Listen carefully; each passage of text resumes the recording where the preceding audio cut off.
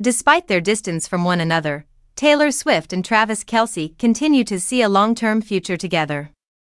Although Taylor Swift and Travis Kelce haven't seen each other in person for the last month, a source informed Entertainment Tonight today that they are still going strong and are extremely serious about their future. The insider said, Taylor and Travis see a long term future together, and things are continuing to move in that direction. What keeps them connected is their love of family and shared values.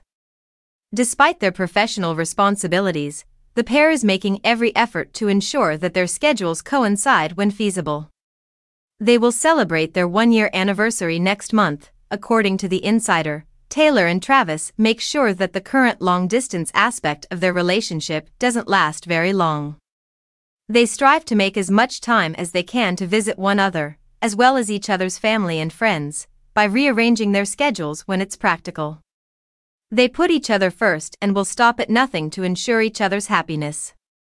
It works because they both really want to make their relationship work. While Kelce has been working as an actor and for the NFL in the United States, Swift has been on tour in Europe this summer.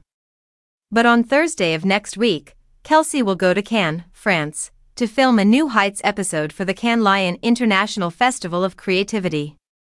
Swift might see him there, since she is taking a break from her tour that day before her June 21 performance in London, or he could meet her later in the United Kingdom. If they get back together, it will be their first time doing so in public since their trip to Lake Como, Italy, a month ago.